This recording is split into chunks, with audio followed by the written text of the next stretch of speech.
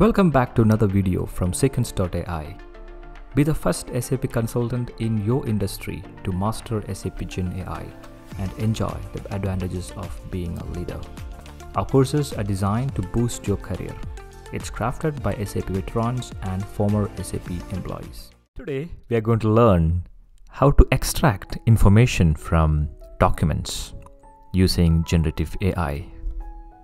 For that, we'll be using SAP Business Technology Platform. And SAP Business Technology Platform has a service called Document Information Extraction Service. The Document Information Extraction Service basically uses the large language models of generative AI. So, what we'll be doing is that we'll be uploading documents to the Document Information Extraction Service, and the service will extract automatically the information within the document for us so where it is applied in our businesses. So if you are a finance manager and you are managing around 10 invoices per day which is equal to around 300 invoices a month there, there's a lot of manual work to be done. You have to manually check the invoices the date the invoice numbers the total cost the item values etc and you have to manually put that into the sap systems. Now with this automation using the document information extraction service, you can upload the data in the document automatically to the SAP systems or any other systems. And it is possible through the generative AI features. This is one of the application of generative AI, the extraction of information from the documents. That's cool. And if you are new to generative AI and SAP generative AI particularly, there are detailed blocks which explains about deep learning, machine learning, large language models, etc. in our blog site zequance.ai slash blogs. So let's see how we can configure the document information extraction service in SAP Business Technology Platform and how to use some of the documents, custom documents to extract information. So let's get started log on to SAP Business Technology Platform, go to Global Accounts and Boosters. In the Boosters, search for the document to set up the document information extraction service.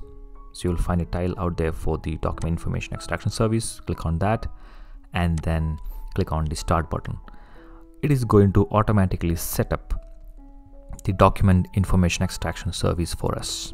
Click on the finish button here after giving choosing the sub account that you have it is going to take a couple of minutes or a few seconds to set up the document extraction service for us. Click on the go to application which will take us to the document information extraction. Here we have to create a schema. A schema is nothing but a new way of definition of how the document is going to look like. Okay, I'll give a name and a document type. Here I will choose custom because I'm going to upload some custom documents for extracting the information. Okay, I've created a schema. Uh, it's now getting activated. Okay I can see it is getting activated now but yeah I will add uh, some of the fields here for the schema. I'll add invoice number and uh, I will give it as the header field and I have to choose a data type. What is the type of the data which is coming for that field? I'll choose string and then I will save then I have to add some additional fields as well. So what I'm going to do here is that I'm going to upload an invoice okay and I'm defining the details of the invoice content like the invoice date date the total due value in the invoice etc so that the schema is being defined with the header, header fields and then the line item details as well what service it has been given in that etc so what happens? The schema will be able to identify these fields from the document that is the invoice that we are going to upload. Okay so let me add few more line item fields in here like the service the price the quantity etc let's make it quick. Okay so you can see some of the fields i'm choosing is currency for example for the total value. I'll click on activate. So it is now getting activated once it is active okay it is now in an active stage okay now i'll go back to document menu and I'm going to upload the invoice, a sample invoice which I have in my system. Here I have to choose the schema which I have actually just created. Okay, I'll choose the schema I just created. I'll add a document here. So I'll upload a sample document, which is nothing but a invoice. Okay, so now what it will do is that it will extract the information from the document and those information will be mapped with the fields that we have defined in our schema. So it's now ready, click on that. Now it should map the information from the document with the schema details. Let's check out how it is being done. So you can see here the total mapping, etc. So let's say extraction results. Here you can see how it is being mapped. You can see the date has been mapped, invoice number has been mapped, total value has been mapped. And let's check out the line items here. So the line item number one that is service that is the storybook and the cost and total etc etc so everything has been extracted. We can use information to put into our SAP system okay? So now let's try a different option. Here I'm going to create a schema for uh, resume so mostly you may have seen that when you upload a resume to job portals it automatically extracts information from your PDF resume, right? How it is being done automatically. So it's all about these large language model capabilities of the generative AI. So I'm going to put here the name for the as a string, which is nothing but the name of the person who is applying for the job. That should be taken from the resume that we're going to upload.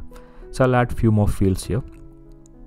So fundamentally what this extraction service will help us with is that you can use the schema that we're defining and you can use or you can integrate this extraction service with SAP systems so that the moment when you just upload the document into the extraction service, it automatically picks up the data and you can map this data with SAP systems to put the data data into the SAP system automatically. That's how you're going to save the time.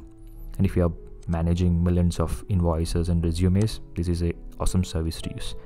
Let's try out the resume uh, service that we have just defined okay i will upload a, a dummy sample resume here let me choose one of this okay cool it is uploading the document now it has to extract the information as well so let's click on confirm let's wait for it to get ready it's in pending stage now you can see it is ready now great let's check out how it is being mapped extraction results here okay it's perfectly done the address the email, the name, the work experience, education, everything is mapped. Fantastic. Good job. Thank you for watching. We hope you found this video insightful and inspiring. Don't forget to like, subscribe and click the bell icon to stay updated on SAP's latest AI solutions. Please share the video with your SAP community and visit us at zequance.ai to get started.